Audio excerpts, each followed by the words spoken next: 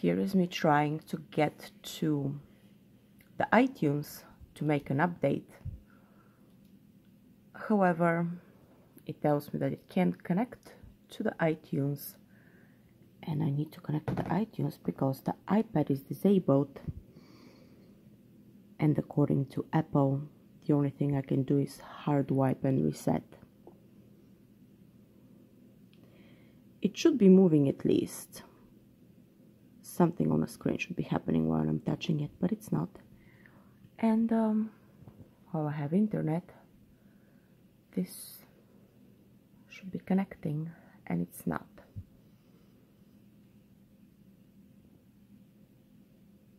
And I need that update, I guess.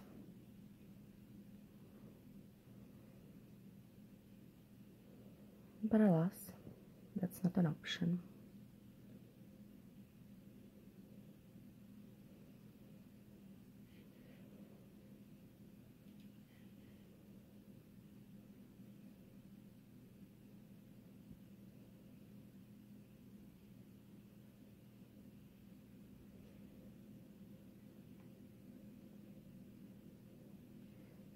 IPad, enable. a very important documentation on you.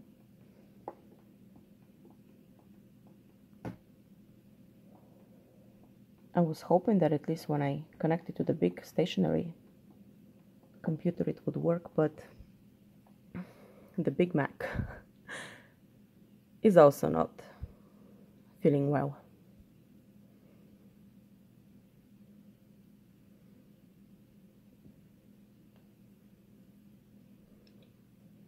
And it just keeps going on and on, and it tells me then that it can't connect.